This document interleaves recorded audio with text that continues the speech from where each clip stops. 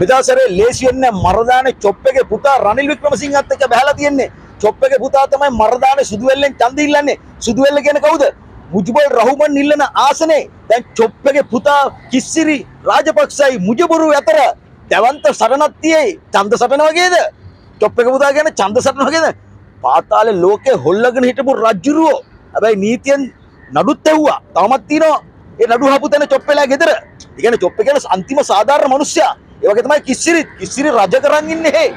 දුප්පතාගේ හිතවතා ලේසි වෙන්නේ නැහැ. මේ සැරේ ගේම.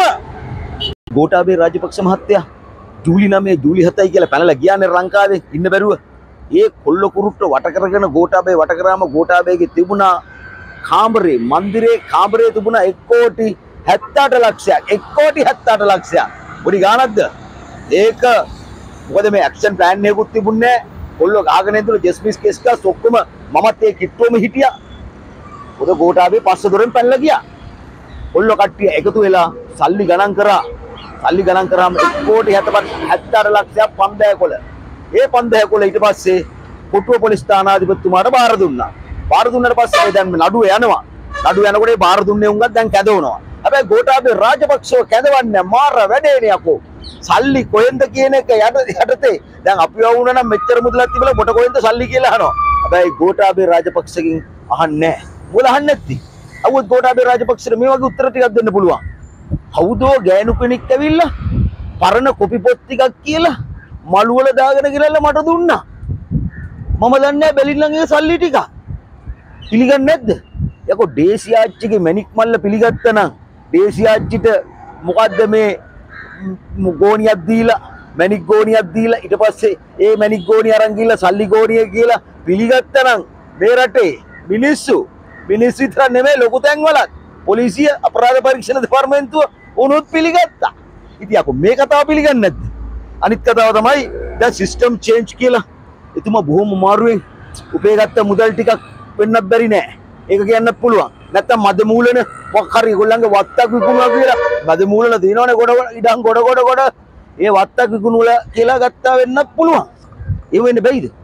අනිත් කාරණේ තමයි දැන් මේ හදිසියේ පැනගත්ත නිසා මේ මේ මුදල තිබුණේ ඒ වගේම දැන් මේ එතුමා කියන්න පුළුවන් මම ඇමරිකාවේ ඉන්න කාලේ පෙට්‍රල් ෂෙඩ් එකකනේ වැඩ කරේ. පෙට්‍රල් ෂෙඩ් එකක වැඩ කරනකොට අමාරුවෙන් ඉතුරු කරගත්ත මුදල තමයි කියලා මේක. හැබැයි ඉතර ගොඩක් ඉතුරු කරගත්තා කියලා කියන්න පුළුවන්. නැත්තම් කියන්න පුළුවන්. උගුළු දන්නද රැට්ටලට රැට්ටලට ලක්ෂ 50ක් දැම්මා account එකකට. මතකද රැට්ටලයි තව කවුද අනිත් හදේකට දාලා තුම ලක්ෂ 52ක ඒ කොහොමද ආයේ මුදල් කියලා? සේපාලකයෙක් නෙමෙයි මං කියන්නේ. සේපාලට 1 කෝටි 60 ලක්ෂයක් හම්බෙච්ච එක නෙමෙයි මං කියන්නේ. එහෙම හම්බුනේ කියලා. එහෙම හම්බුනේ කියලා අල්ලන්න හැදුවා. ඒ වගේම ගෝඨාභය රාජපක්ෂට මේ අරගලේ වුන් අරගලේ වුන් 1 කෝටි මේ 78 ලක්ෂයක් දාලා ගෝඨාභයට ගේමක් දෙන්න කරුවොත් දන්නේ නැහැ මේක. එහෙම හිතන්න බැයිද? එහෙම හිතන්න බැයිද ඔයගොල්ලන්ට ඒක නිසා ඔයගොල්ලන්ට හිතන්න ඕන එකක් තියෙනවා.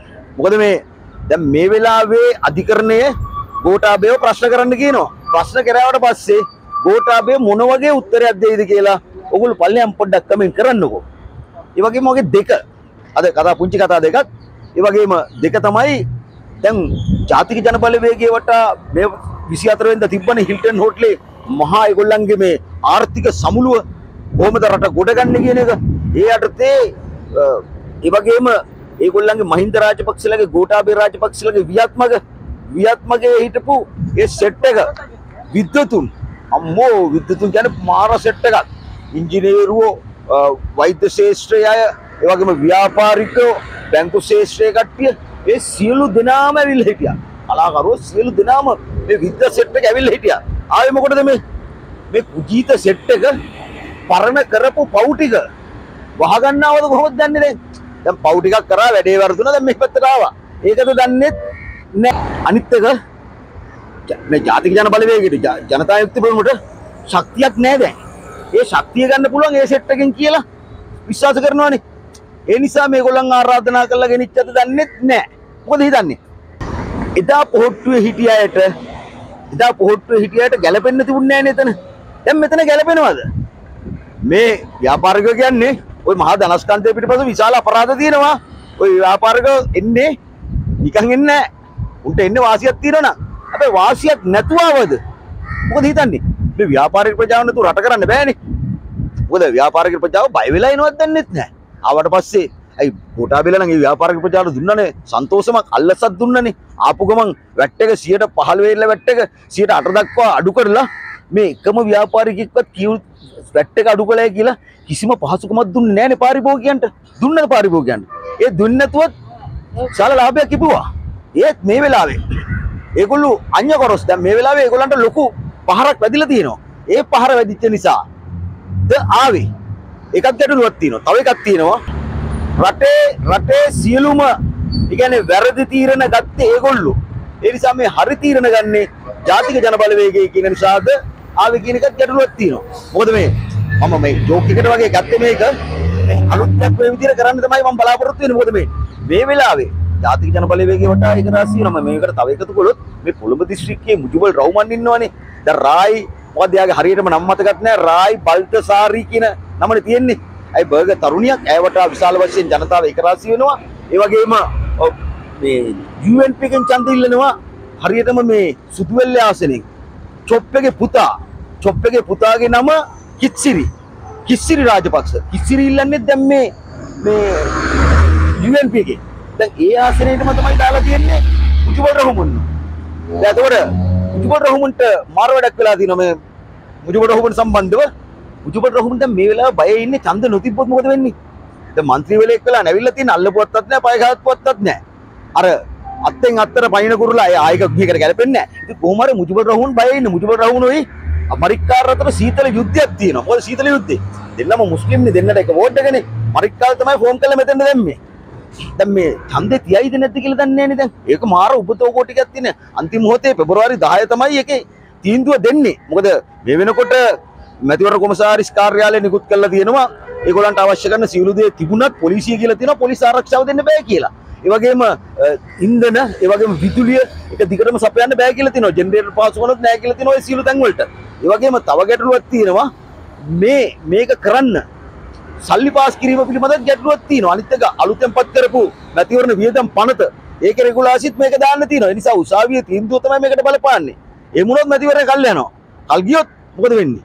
කල් ගියොත් මුජිබල් රහමාන්ට දෙනවයි කියලා තියෙනවා. මට දැන් ඔය ගියාම විශ්වාස කටයුතු මාර්ගයෙන් ගලන 37 නායකගේ ජාතික සංවිධායක ඒ දූරේ දෙනවයි කියලා මිනිහා කූල් ඩවුන් කරන්න දාලා තියෙනවා.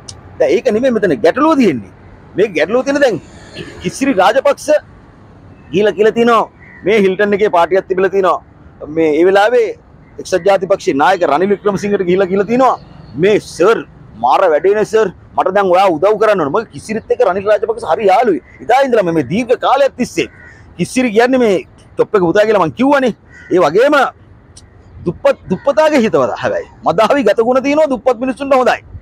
අර මර්දානි මර්දානි කියන්නේ අර ගිනි නිවන මධ්‍යස්ථානයේ මෙහා තියෙන එතන ඒ සෙන් ජෝසප් එක ඉස්සරහා ඒ එයාගේ ඒරියාවේ තමයි ඒක තියෙන්නේ. ඉතින් ඒකට හිටපු മന്ത്രി මේ ජාතික ජනබලවේගකින් හිටපු മന്ത്രി සමග ජනබලවේ මේ ජාතික ජනබලවේගකින් හිටිය മന്ത്രിයව ජාතික ලැයිස්තුවට දාලා මුජෝල් මෙතෙන්ට ඇවිල්ලා තියෙන්නේ රනිල්ට කනේ පාරක් දෙන්න. රනිල් එක්ක තියෙන තරහට කියලා තමයි දැන් ඇවිල්ලා තියෙන්නේ. ඉතින් එතකොට දැන් ගිහිල්ලා තියෙන්නේ කවුද කිස්සිර ගිහිල්ලා තිනෝ සර් විසරේ මට සර් උදව් කරන්න ඕන. මේ රනිල්ට කියන්නේ ඇයි ඇයි මොකටද උදව් කරන්නේ? ඇයි සර් මට වැඩියෙන් උදව් කරන්නේ? සර් මට උදව් කරනවා තමයි. මාව මාව දාලා තියෙන මාව පරද්දන්න මාව මේකෙන් නවත්තන්න. ඒ නිසා මට උදව් කරන්න ඕන. ඉතින් මැතිවරණ මැතිවරණ තියෙනවා කියලා කියලා දිනවා. ඊට පස්සේ රණේ හිනාලා කිව්වලු මැතිවරණේද? ඉතින් මැතිවරණ තියන්න බෑ පරදින්න. මැතිවරණ තියන්න බෑ පරදින්න. මුන් හදන්නේ කොහොම හරි මැතිවරණේ නොතියා ඉන්න. මතක තියාගන්න රනිල් මැතිවරණේ නොතිබ්බොත් ජනතාවගේ ප්‍රකෝපය පිට කරගන්න බෑ. විශාල ජන කියන්නේ ප්‍රජාතන්ත්‍රවාදී අයිතිය මැතිවරණ තියෙන එක. ඒක නොතිබ්බොත් දැන් ඕගොල්ලෝ විස්සයි විසි දෙකේ මාර්තු මාසි තියන්න ඕනේ මැතිවරණනේ මේ විසිතුනේ වෙනාව කෙනාව දැන් ඒකත් කල් දැම්ම මොකද වෙන්නේ?